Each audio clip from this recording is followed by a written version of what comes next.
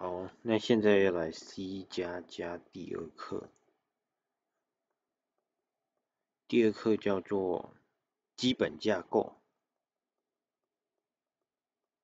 然后还有基本输入书。（basic），这是基本的输入输出，I/O 就是输入输出，input output。这是第二课。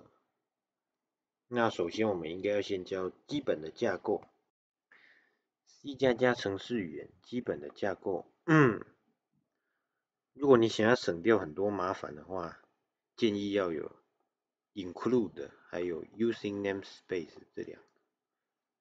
其实你，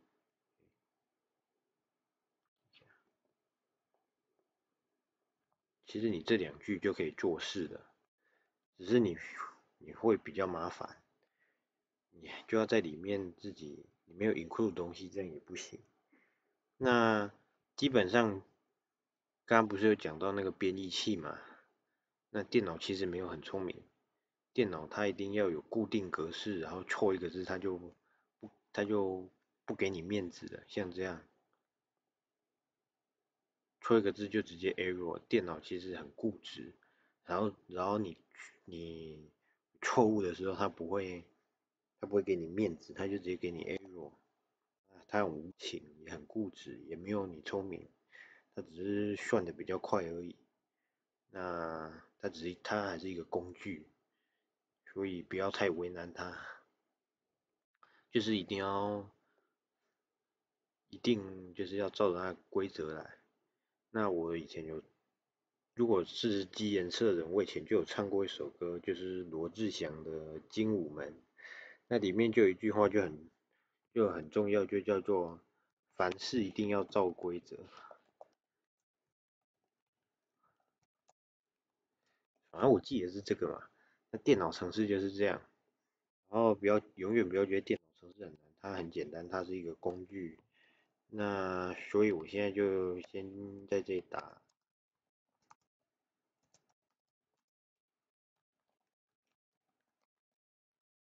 那你现在就已经踏入资讯这个领域了，那就好好学吧，它没有很难。然后 I wanna know 你行不行？对，我是罗志祥的铁粉。好，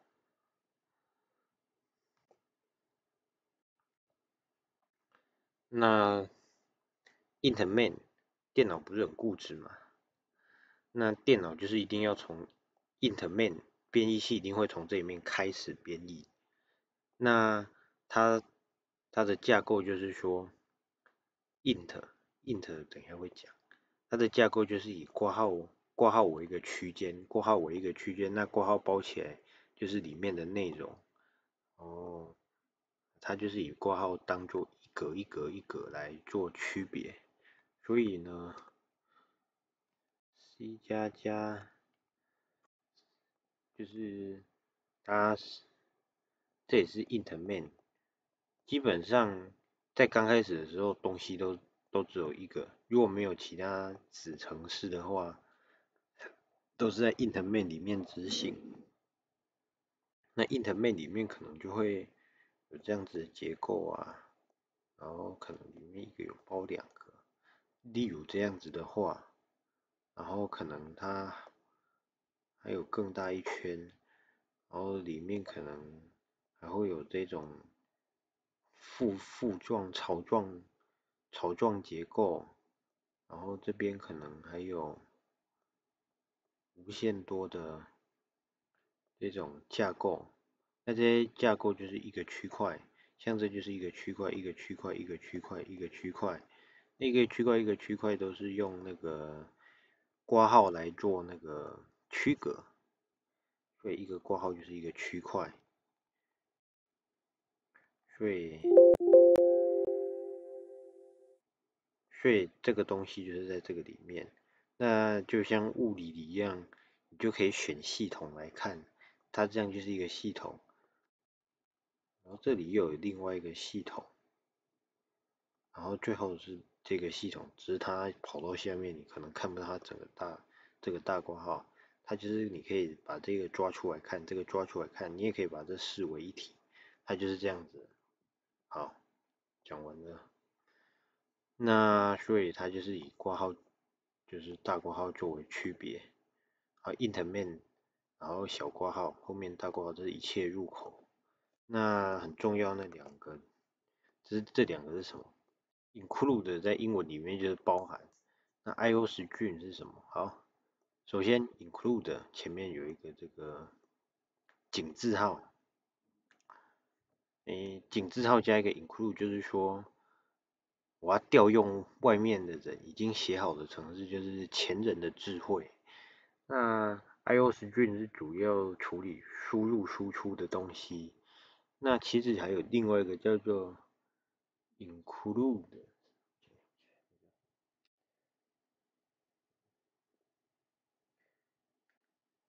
另外一排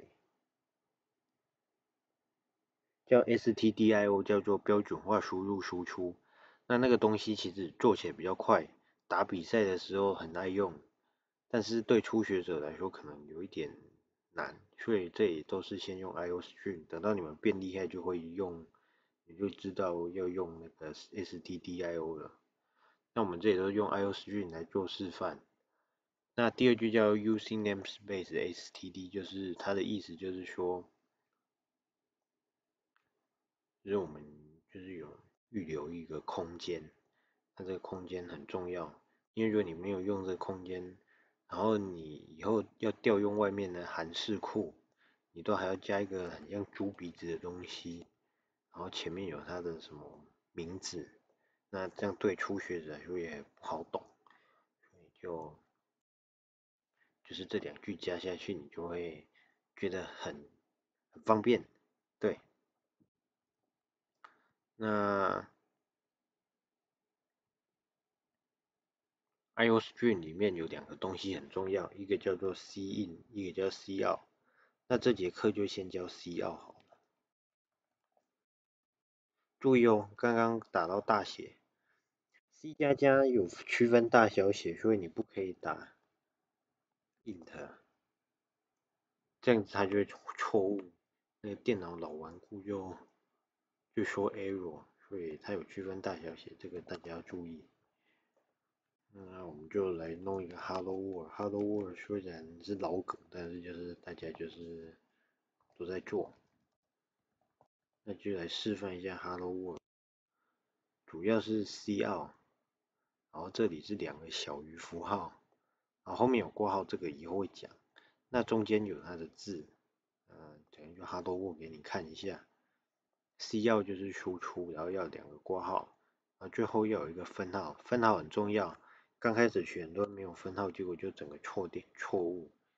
那来一个错误的看看。他就直接跟你讲 error，反正他就是一定要有括号，要分号，讲错对不起。分号很重要，分号就是一个结尾，这样子编译器才不会搞错。那到 Python，Python 到后面 Python 没有括号，没有这个括号也没有这个分号，但是我现在写 Python 的时候都不小心写分号或者是还有这个括号。那这个大家注意一下，如果有学过 Python 的话也要注意。到后面可能会该加的时候不加，然后不该加的时候一直加，那这个要特别注意一下。那第二课就到此结束。那要再来就是要教那个，再来要教资料类型，还有那个教完资料类型才能教 C，教完 C 就可以开始教基本的运算了。第二课就到此结束，谢谢大家。